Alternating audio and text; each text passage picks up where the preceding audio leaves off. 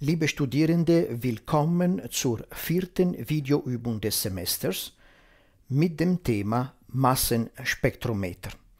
Hauptsächlich mit äh, dieser Übung werden wir uns mit dem Konzept der Lorentzkraft auseinandersetzen. Und werden wir äh, durch die gezielte Anwendung äh, der Lorentzkraft werden wir auch verstehen, wie äh, überhaupt ein Massenspektrometer äh, funktioniert. Hauptsächlich handelt es sich um eine experimentelle Anordnung für die Messung äh, der Masse von geladenen Teilchen.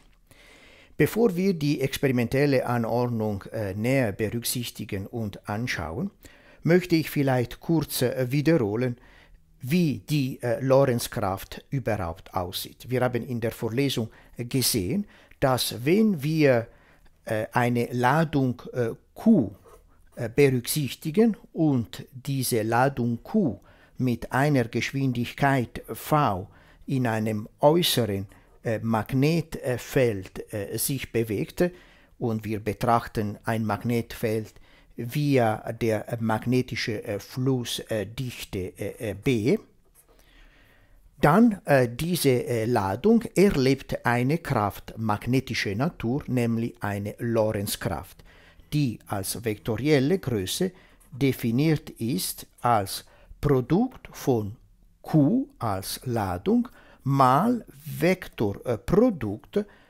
zwischen Geschwindigkeit v, mit welcher meine Ladung sich bewegt, und magnetische äh, Flussdichte. Wir sollen jetzt versuchen, anhand dieser äh, äh, Lorentzkraft zu verstehen, wie ein Massenspektrometer äh, tatsächlich funktioniert. Ganz am Anfang nehmen wir an, dass wir eine äh, Quelle äh, zur Verfügung haben und diese Quelle erzeugt sogenannte elektrische Ladungen. Einfachheitshalber oder äh, um später etwas äh, Konkretes zu berechnen, gehen wir davon aus, dass unsere Ladungen positiv sind. Erstens, äh, die Ladungen befinden sich in diesem Raum, wo eine Spannung V zwischen Quelle und diesem Punkt vorhanden ist. Das heißt, diese Ladungen erleben eine sogenannte Potentialdifferenz als Folge der Spannung und werden somit äh, beschleunigt. Wir können äh, tatsächlich sagen, dass in diesem Raum als Folge der äh, Beschleunigung wegen der Potentialdifferenz, das heißt zwischen beide Punkte hier, hat man tatsächlich mit einem elektrischen Feld zu tun. Äh, diese Ladungen erleben dann eine Variation ihrer potenziellen Energie. Diese Energie ist einfach gegeben durch E mal V oder noch allgemeiner können wir sagen, Q mal V, wenn Q ist die allgemeine positive Ladung äh, der äh, äh Teilchen. Aber eben, wenn, sie, äh, wenn, diese, äh, Q, wenn diese Ladung Q äh, diese Position erreicht hat, hat eben diese Potenzial, diese Differenz in der potenziellen Energie erlebt und diese äh, potenzielle Energie wandelt sich um in kinetische Energie. Das heißt, wir können sofort äh, eine Energiebilanz schreiben, wobei diese potenzielle Energie erlebt bei meiner Ladung Q in diese, äh, bei dieser Spannung V, bei dieser Potentialdifferenz V, muss dann gleich sein, ein Alp, die Masse der äh, Ladung äh, Q mal die Geschwindigkeit v im Quadrat. Das wäre die Geschwindigkeit, die meine Teilchen bei diesem Punkt äh, erreicht haben. Von diesem Punkt an, meine geladenen Teilchen mit der Geschwindigkeit v treten in einem Raum ein, wobei eine magnetische Feldstärke wirksam ist. Wie gesagt, wir gehen davon aus, einfachheitshalber, dass wir mit positiver Ladung zu tun haben. Und wenn wir tatsächlich in diesem Raum ein homogenes äh, Feld betrachten mit der magnetischen Flussdichte äh, B und wir können äh, die Annahme machen, dass mein Feld ist überall konstant und steht sogar senkrecht zu dieser Ebene und ist nach außen äh, gerichtet. So, wenn wir äh, diese äh, äh Formel für die äh, Lorenzkraft anschauen, beobachten wir äh, sofort, dass diese geladenen Teilchen, die sich mit der Geschwindigkeit v bewegen, erleben auch eine äh, Kraft, eben eine Kraft magnetischer Natur, die Lorenzkraft. Und aus der Geometrie des Problems, äh, da beide Vektoren immer senkrecht zueinander stehen, wird dann äh, die Kraft äh, radial sein. Bei jedem äh, Punkt äh, oder in jedem Moment haben wir mit einer radialen Kraft zu tun, sodass meine Teilchen werden sich auf dem Albkreis hier sich bewegen und landen dann auf einem Fluoreszenzbildschirm, wo man die Teilchen tatsächlich äh, äh, detektieren äh, kann. Das heißt, als Folge der Lorenzkraft, die eben wie gesagt wegen der Geometrie des Problems immer radial ist, zum Beispiel äh, können wir unsere geladene Teilchen in diesem Punkt betrachten, hat eine Geschwindigkeit v, eben in diese Richtung, in einem äußeren Magnetfeld das tatsächlich orthogonal steht, so die Kraft ist wegen des Vektorprodukts äh, radial. Und deswegen meine Ladung äh, ist sozusagen gezwungen, sich auf diesem Albkreis zu äh, bewegen. Äh, und mein Albkreis ist dann mit einem äh, Radius r charakterisiert. Wir können dann in diese experimentelle Anordnung messen gegenüber dem Eingang sozusagen äh, der Teilchen im äußeren Magnetfeld, in äh, welchem Abstand x äh, meine Ladung auf dem Fluoreszenzbildschirm tatsächlich landen und dort detektiert werden. Und selbstverständlich x, wie wir hier sehen, ist dann gleich zweimal r Radius der äh, Kreisbewegung, äh, das heißt auf diesem Alpenkreis äh, hauptsächlich.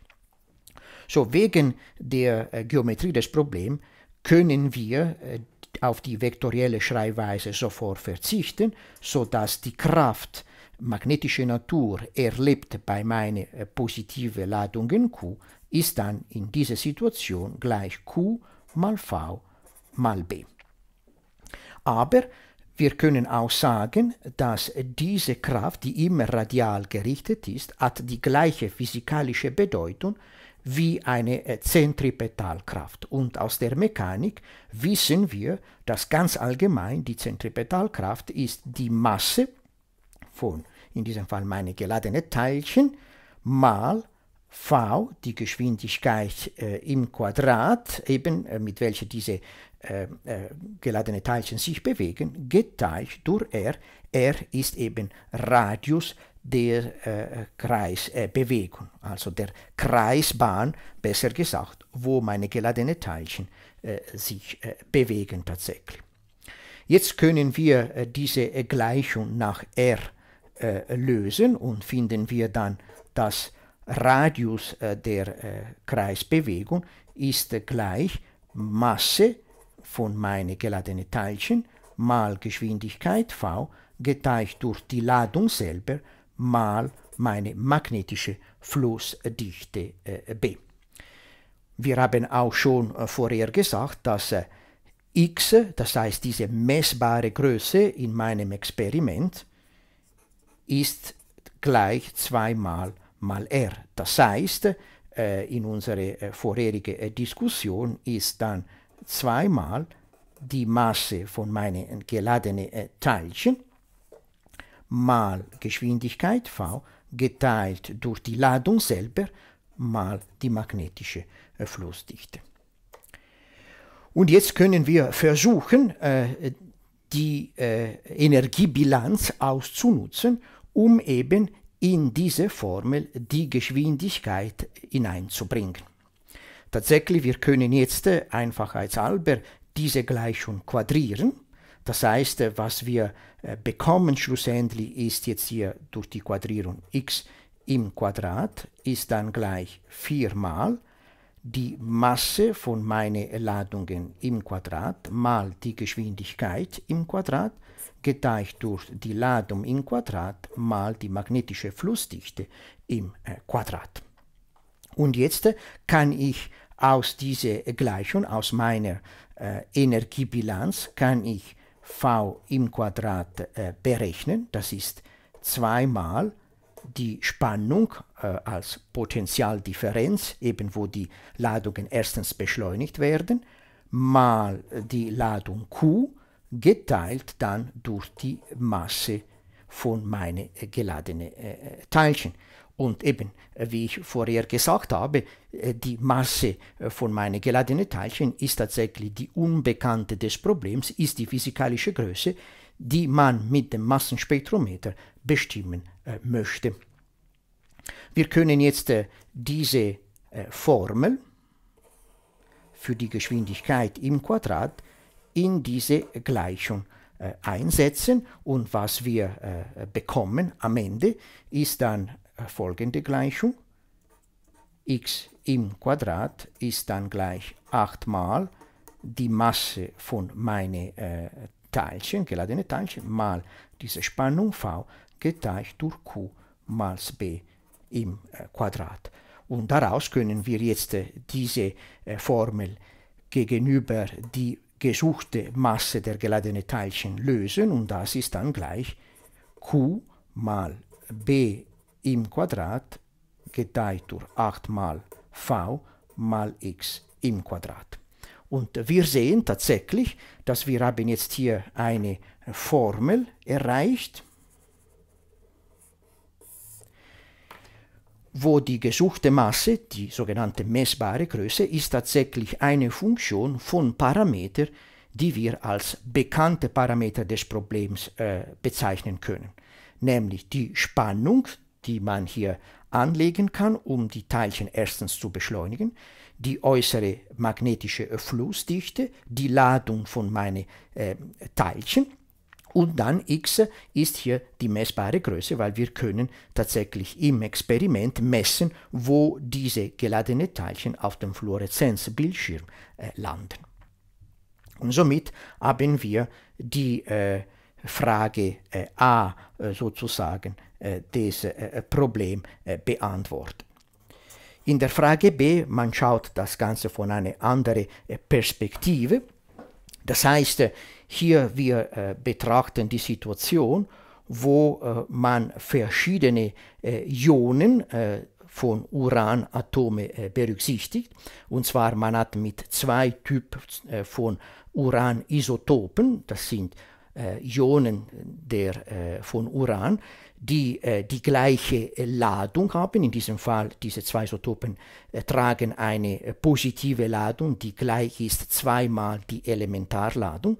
Aber beide Isotope unterscheiden sich äh, mit äh, der Masse, so sie sind mit einer mit verschiedenen äh, eigene Masse äh, charakterisiert.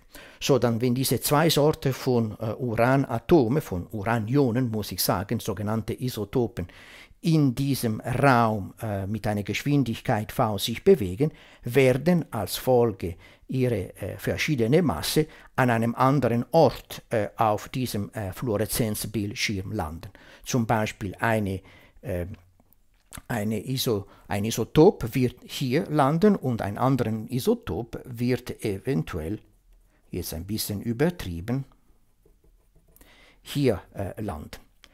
Und äh, äh, wir können dann für die jeweilige Isotope diese Position x messen und man, man fragt sich, wie groß muss meine magnetische Flussdichte B sein, also mein äußeres Magnetfeld sein, damit die Position auf dem Fluoreszenzbildschirm, wo beide Isotope detektiert werden, sich um 5 mm äh, unterscheiden.